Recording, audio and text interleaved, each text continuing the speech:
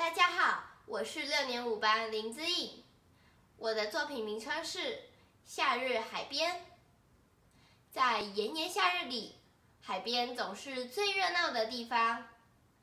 湛蓝的天空和碧蓝的海水连成了一条线，洁净细软的沙滩上，到处都可以看到游客们正在从事各种夏日活动，有的在玩沙，有的在玩水。有的在玩沙滩排球，更有人什么也不做，只是静静地躺着，听着海浪在唱歌。我先用简单的线条勾勒出这幅美景，